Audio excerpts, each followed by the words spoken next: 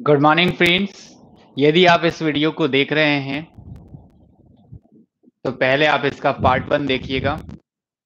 Because part one में इसके पहले वाला इंट्रोडक्टरी पार्ट है, और फिर हम ये लेक्चर उसी के बाद से स्टार्ट कर रहे हैं।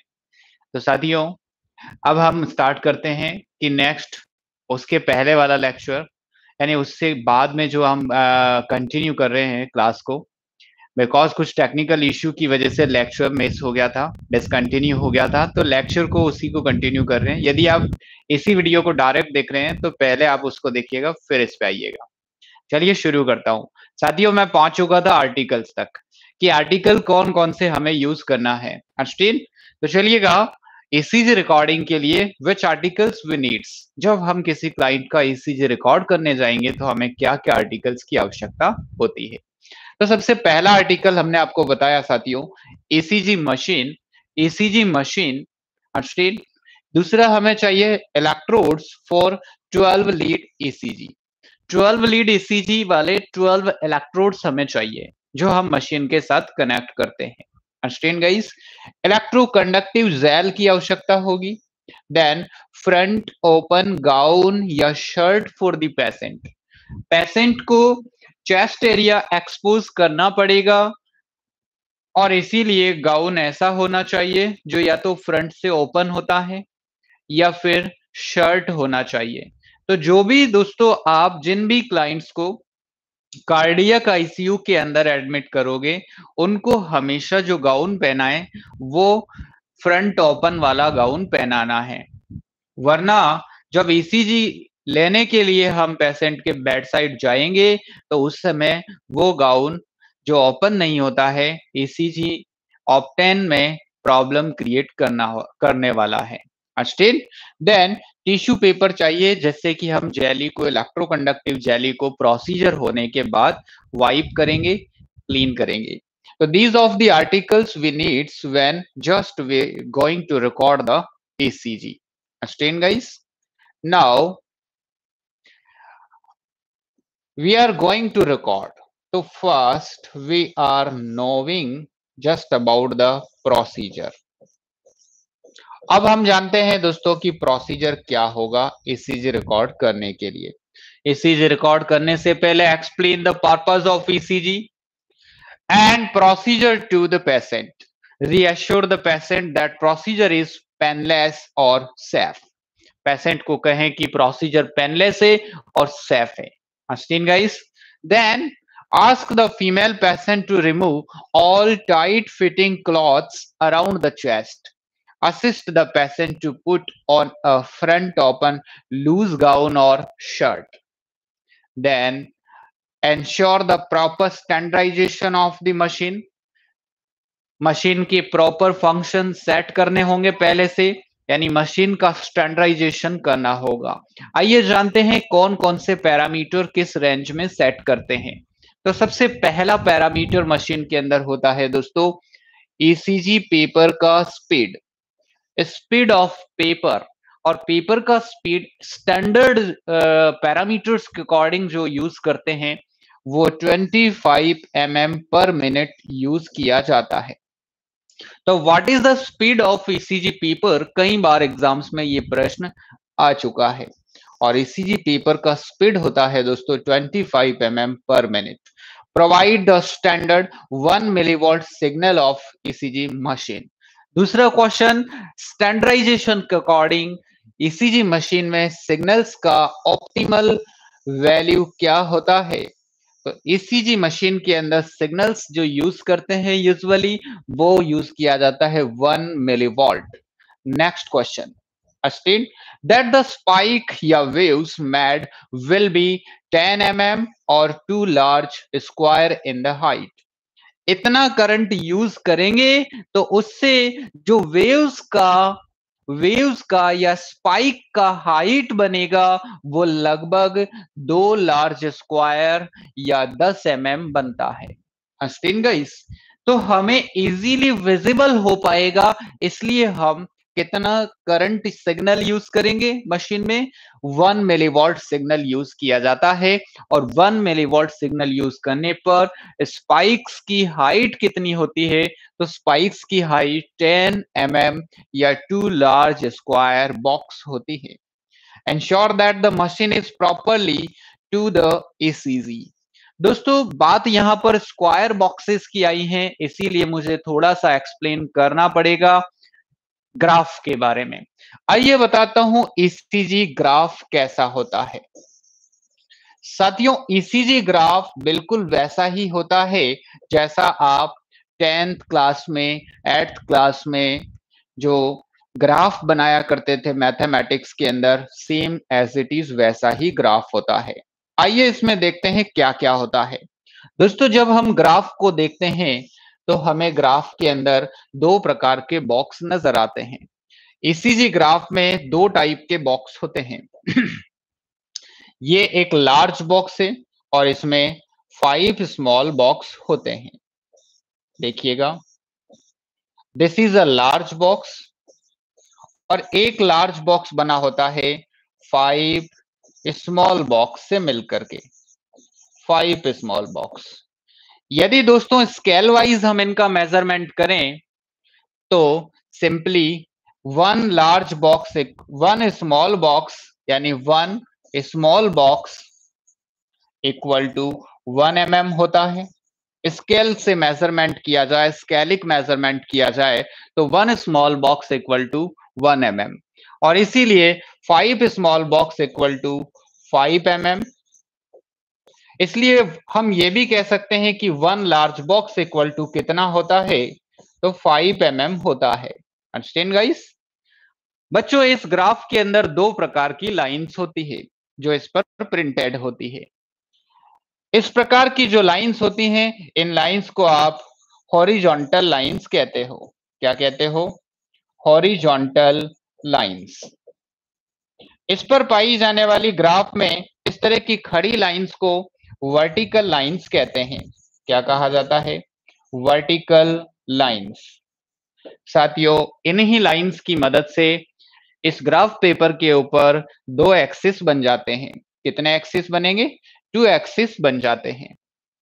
ये वाला जो एक्सिस बनेगा और एक एक्सिस ये बन बनता है। इस एक्सिस को हम एक्स एक्सिस कहते हैं और इस वाले एक्सिस को हम वाई एक्सिस कहते हैं। साथियों?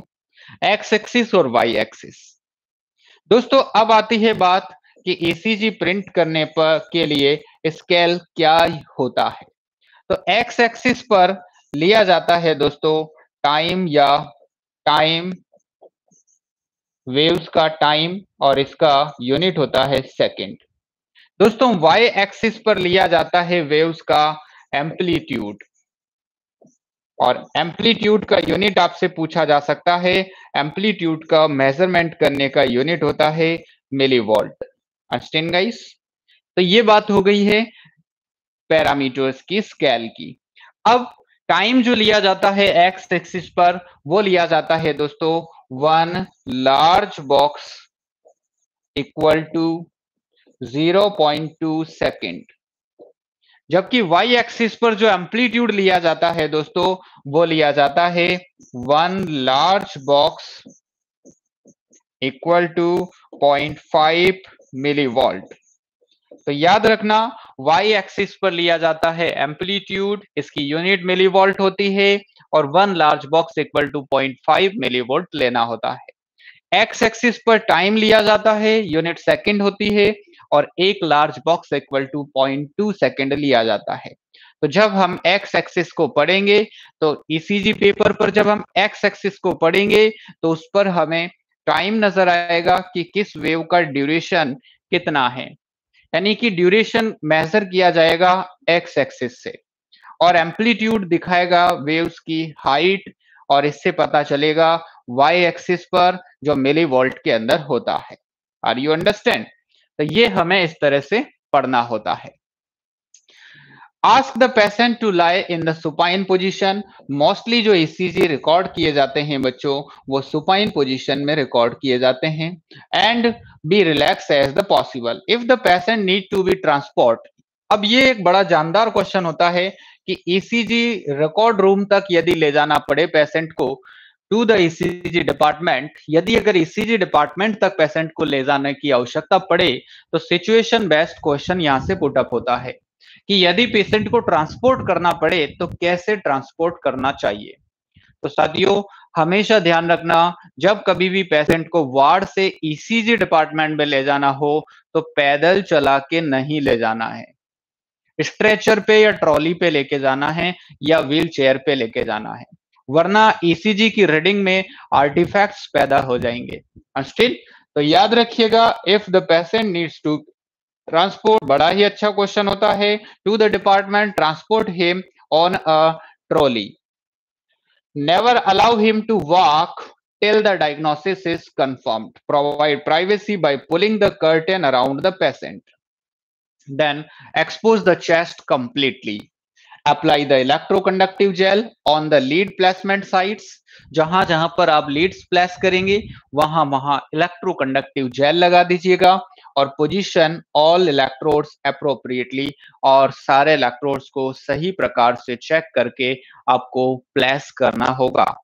Just check for the colour codes of the limb leads limb leads के कलर कोड का भी ध्यान रखें। दोस्तों, लिम लीड्स में चार टाइप के कलर कोड्स वाली लीड मेनली यूज़ होती है, जो कि हम आपको कल भी बता चुके हैं। अंडरस्टैंड? यानी कि लिम लीड्स में जो कलर कोडिंग यूज़ करते हैं दोस्तों, वो चार प्रकार के कलर कोडिंग्स वाले लीड यूज़ किए जाते हैं। तो देखिएगा दोस्तों, हम कल भी इस बारे में बात कर चुके हैं। तो जस्ट हमने कहा था कि लिम लीड्स में R A, L A R L R L और एल एल। हस्टेन तो इनका कलर याद रखिए। वाइट ब्लैक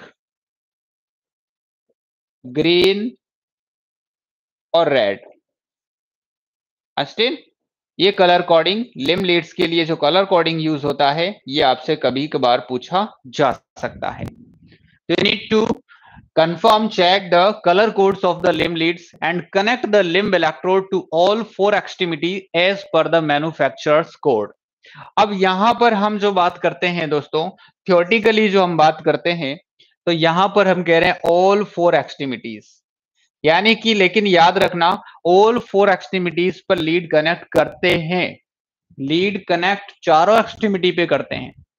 लेकिन यदि अगर कभी एग्ज़ाम में कॉम्पिटिटिव एग्ज़ाम के अंदर क्वेश्चन पूछ लिया जाए कि कौन सी एक्सट्रीमिटी पर कोई लीड कनेक्ट नहीं होती है तो ध्यान रखना साथियों, जवाब होता है राइट फुट राइट फुट के ऊपर कोई लीड कनेक्ट नहीं होता है। ये बड़ा ही जानदार और कंफ्यूजनल क्वेश्चन होता है, याद रखना okay as per the manufacturer's code then place the suction electrode at the appropriate site, then then, अब हम बात कर चुके हैं कल भी लीड्स के बारे में कि कौन सी लीड्स कहाँ प्लेस की जाती है। तो एक बार फिर से मैं आपको बता देता हूँ। तो ईसीजी लीड्स ईसीजी लीड्स दो टाइप की होती है। यूनिपोलर और दूसरी बाइपोलर यूनिपोलर लीड्स में एक ही इलेक्ट्रोड एक्टिव होता है। बाइपोलर लीड्स के दोनों इलेक्ट्रोड्स एक्टिव होते हैं और बाइपोलर में एक पॉजिटिव और दूसरा नेगेटिव होता है। यूनिपोलर लीड्स ईसीजी में टोटल 12 लीड्स होती हैं। अब हम कहें, बेटा यूनिपोलर तो यूनिपोलर भी प्लेसमेंट के आधार पर दो प्रकार से कैटेगराइज की गई है। सबसे पहले चेस लीड्स और दूसरी लिम लीड्स अस्टीन सेकंड हम कहें बाइपोलर तो बाइपोलर ओनली लिम लीड्स होती है। ओके दोस्तों? अब हम इनकी संख्या लिखते हैं। तो chest lead unipolar chest lead total six होती हैं। Unipolar limb leads total three होती है। और bipolar limb leads total three होती है। देखिए three plus three six plus six equal to twelve दोस्तों इन लीड्स को V1, V2, V3, V4, V5 और V6 से लिखा जाता है जाना जाता है। सबसे पहला V1 प्लेस किया जाता है साथियों right external border right external border fourth intercostal space V2 को प्लेस किया जाता है fourth intercostal space left external border V3 को अभी छोड़ दीजिएगा। V4, V5, V6 तीनों को ही फिफ्थ इंटरकोस्टल स्पेस में प्लेस किया जाता है अटैच किया जाता है fifth intercostal space fifth intercostal space को जब हम देखेंगे दोस्तों तो ये क्लेविकल होती है और क्लेविकल के बिल्कुल सेंटर लाइन होती है मिड क्लेविकुलर लाइन इस लाइन को कहते हैं, यहाँ से लाइन ड्रॉ की जाए तो एंटीरियर एक्सिलरी लाइन और ये वाली जो लाइन होगी वो मिड एक्सिलरी लाइन होती है। तो हमें सबसे पहला V4 उठाना है और V4 को फिफ्थ इंटरकोस्टल स्पेस के मिड क्लेविकुलर लाइन एरिया पर अटैच करना होता है। V5 उठाना है और इसको फिफ्थ इंटरकोस्टल स्पेस के एंटीरियर एक्सिलरी लाइन पर अटैच करना होता है। V6 उठाना है और फिफ्थ इंटरकोस्टल स्पेस के मिड एक्सिलरी लाइन पर इसको अटैच करना होता है। हमारे पास अभी भी बचा हुआ है V3 जिसको कि V2 एंड V4 के बिटवीन अटैच करना होता है। I hope you understand chest leads connect हो चुकी है। अब हम लीड्स उठा लेंगे दोस्तों, कौन सी? Unipolar limb leads unipolar limb leads को A V R A V L और A V F A V R A V L और ए वी एफ़ से जाना जाता है इनको एवीआर एवीएल और एवीएफ लीड के नाम से जाना जाता है दोस्तों एवीआर कनेक्ट करना है राइट आर्म पर एवीएल कनेक्ट करना है लेफ़्ट आर्म पर और एवीएफ कनेक्ट करना है लेफ़्ट फुट के ऊपर ये लीजिएगा, आपकी यूनिपोलर लीड्स पूरी तरह से कनेक्ट हो चुकी है। अब हमारे पास होती है दोस्तों बाइपोलर लीड्स जो कि टोटल थ्री होती है। बाइपोलर लीड्स का मैं फ़ोटो बना करके आपको समझाता हूँ। देखिए ध्यान से, ये फ़ोटो है। ये है दोस्तों राइट आर्म ये लेफ़्ट आर्म ये राइट लेग ये लेफ़्ट लेग सबसे पहले तो आप क्रॉस मार दीजिएगा राइट लेग पर, इस पर कोई लीड कनेक्ट नहीं करेंगे। गाइस क्लियर है? तो यहाँ पर कोई लीड कनेक्ट नहीं होगा। आर यू अंडरस्टैंड अब हम बात करते हैं दोस्तों, अब बाकी की लीड्स कनेक्ट करना है तो वो तीन लीड्स होती हैं बाइपोलर लीड्स जिसको फ़र्स्ट सेकंड और थर्ड इन नामों से जाना जाता है। First lead first second third अब जो लीड फ़र्स्ट सेकंड थर्ड होती है, इन सब लीड्स में दो दो इलेक्ट्रोड होते हैं positive negative positive negative positive negative understand guys तो हर लीड के अंदर दो दो इलेक्ट्रोड्स होते हैं पॉजिटिव नेगेटिव पॉजिटिव नेगेटिव और पॉजिटिव नेगेटिव अब हमें बात करना होता है कि इस जो बाइपोलर लीड्स के इलेक्ट्रोड होते हैं, इनको किस प्रकार कनेक्ट करना है। तो साथियों कनेक्शन करने के लिए मैं एक सिंपल सी ट्रिक आपको बताने जा रहा हूँ कि यहाँ आपको लिख लेना है फ़र्स्ट यहाँ सेकंड और यहाँ थर्ड सबसे पहले फ़र्स्ट लीड का पॉजिटिव इलेक्ट्रोड कनेक्ट कर दीजिएगा लेफ़्ट आर्म पर और नेगेटिव कनेक्ट कर दीजिएगा राइट आर्म पर।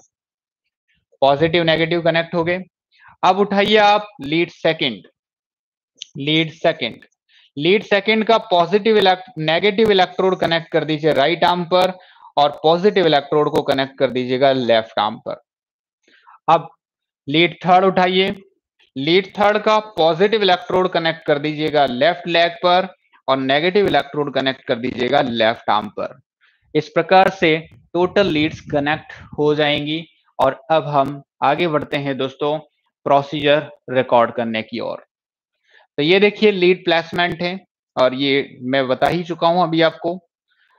Instruct the patient that you are going to start the start the recording and and he or she should lie still in the bed without moving till the recording is complete which may takes the five to ten minute आइए जानते हैं कि ECG के complete recording में कितना समय लगता है?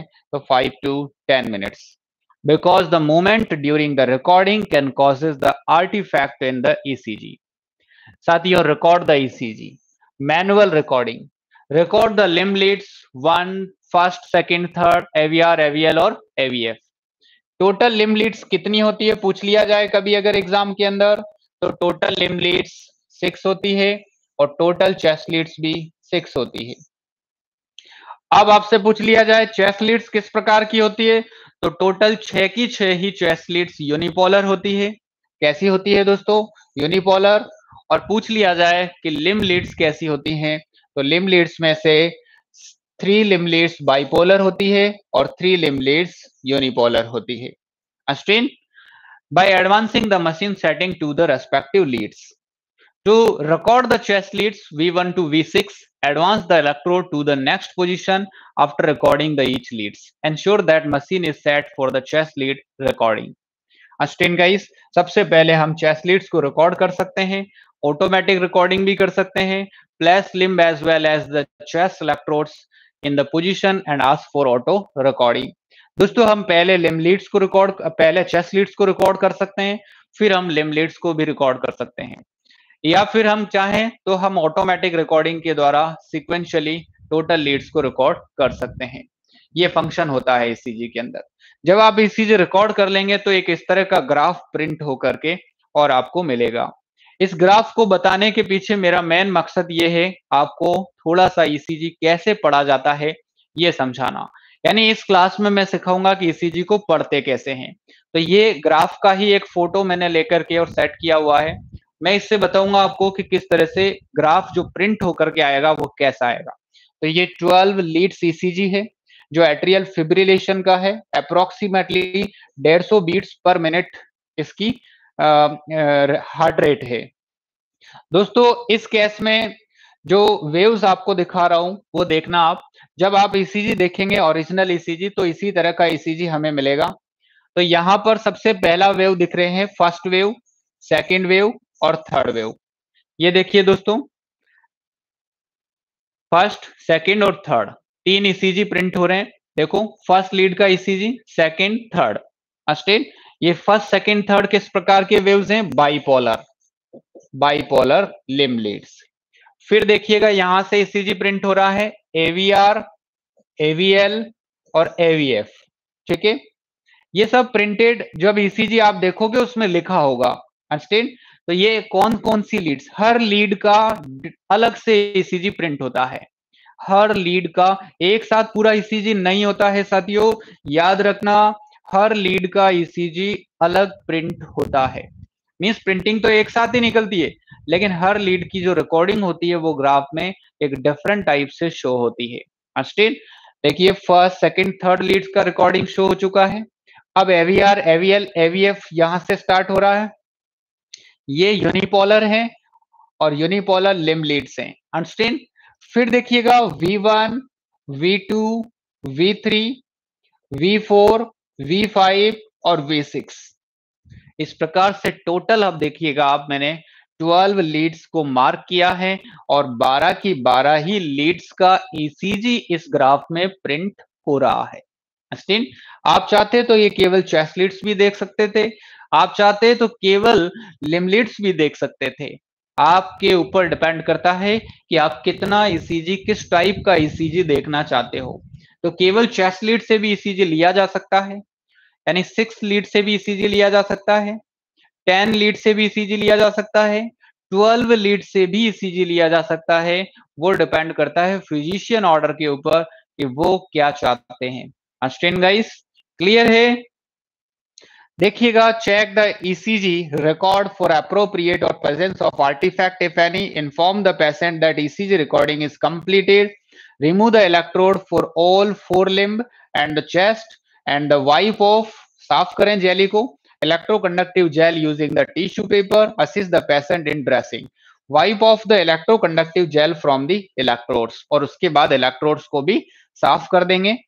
लेवल द ईसीजी ईसीजी पर आपको लेवल चिपकाना बहुत ही कंपलसरी होता है, क्योंकि कहीं वो एक दूसरे के साथ मिक्सअप ना हो जाए। अब लेवल में क्या क्या इंफॉर्मेशन हमें मेंशन करनी पड़ती है, आइए जानते हैं। पेशेंट का फुल नेम इन पेशेंट है या आउट पेशेंट है? अगर इन पेशेंट आउट पेशेंट है तो उसका नंबर डालें। डेट डालिएगा ईसीजी का, किस दिन रिकॉर्ड किया टाइम क्या था, ये चार इंफॉर्मेशन लिखना होगा। Record the lead identification in case of the manual recording यदि अगर आपने मैनुअल रिकॉर्डिंग किया दोस्तों, और कुछ विशेष प्रकार की लीड्स का ही ईसीजी लिया गया है तो फिर उसका डिस्क्रिप्शन आपको स्पेशली लिखना पड़ेगा lead identification then standard lead should be label और pasted on the ECG card when the manual records are obtained. Understand, guys? then read and report the ECG as follows अब आप क्या क्या read करते हैं? Rhythm conduction interval cardiac axis description of the Q R S complex description of the S T segment और T wave show the ECG record to the physician as soon as possible to that further treatment order can be obtained then special point याद रखिए दोस्तों। Note that the following can cause the poor ECG signal, poor ECG signal and artifacts on the ECG record. ऐसी कौन कौन सी mistakes हो सकती हैं जिससे कि ईसीजी के जो रिकॉर्डिंग है जो रिज़ल्ट हैं उसमें आर्टिफैक्ट्स पैदा हो जाएँगे तो दोस्तों यदि अगर डर्ट ऑयल या स्केली स्किन है डर्टी या एनक्रस्टेड इलेक्ट्रोड्स हो improper application of electrodes loose या dislodged electrodes patient movements muscle tremor broken cable wire faulty grounding यानी अर्थिंग वायर ईसीजी मशीन के अंदर एक अर्थिंग वायर होता है, वो ज़मीन पर होना चाहिए। अगर वो प्रॉपर ग्राउंडिंग उसका नहीं है तो भी ईसीजी रीडिंग में आर्टिफैक्ट्स पैदा हो जाते हैं। तो साथियों, ये टोटल एट ऐसी मिस्टेक्स हो सकती है, जिनके कारण ईसीजी रिकॉर्डिंग में आर्टिफैक्ट्स पैदा हो जाएँगे। गाइस तो सिंपली ईसीजी रिकॉर्डिंग जो होगा, वो प्रॉपर नहीं होगा। अस्टेन आप जानिए यहाँ पर इंपॉर्टेंट आईबीक्यूज ये है ईसीजी e मशीन और इसको बड़े ध्यान से आप देख लीजिएगा, क्योंकि इसको कई हद दूसरे इक्विपमेंट्स के साथ में कंफ्यूज करके पूछा जाता है। दोस्तों, ऐसा एग्ज़ाम बहुत कम है जिसमें कई बार इस क्वेश्चन को पूछा गया है। आपको ये मशीन का नाम पूछते हैं तो ये बड़ा ही यूजफुल आईबीक्यू क्वेश्चन है। ईकेजी e मशीन या ईसीजी मशीन ओके दूसरा है इलेक्ट्रोकंडक्टिव जेल जिसको कि ईसीजी रिकॉर्डिंग के लिए यूज़ किया जाता है। Next twelve lead ECG showing the ventricular fibrillation ये वो ट्वेल्व लीड ईसीजी होता है दोस्तों, ये ओरिजिनल ईसीजी का प्रिंट है फ़र्स्ट ये वो ईसीजी है जो एट्रियल फिब्रिलेशन का आप देखेंगे वेंट्रिकुलर फिब्रिलेशन का आप ईसीजी देखेंगे। इससे पहले वाला जो ईसीजी हमने दिखाया था दोस्तों, आपको 12 लीड ईसीजी वो एट्रियल फिब्रिलेशन वाला था। और ये जो ईसीजी हम दिखा रहे हैं, ये वेंट्रिकुलर फिब्रिलेशन का है। फिब्रिलेशन बोले तो वेव्स जो होंगी, वो फेब्राइल हो चुकी होंगी और क्लियरली स्टैट नहीं कर सकते। तो देखिएगा, इसके अंदर जो वेव्स हैं वेंट्रिकुलर फिब्रिलेशन में टोटल फेब्राइल वेव्स हो चुकी हैं। अस्टिन तो इसे भी बड़े ध्यान से आप देख लीजिएगा। ये एग्ज़ाम्स में अक्सर पूछा जाने वाला क्वेश्चन है।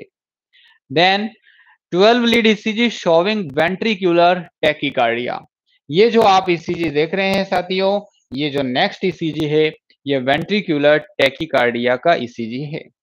अस्टिन ये भी बड़ा ही जानदार इंपॉर्टेंट क्वेश्चन है और खास करके दिल्ली और ऋषिकेश के मामले में बिल्कुल अवेयर रहना, ये सारे क्वेश्चंस आपसे किए जाएँगे।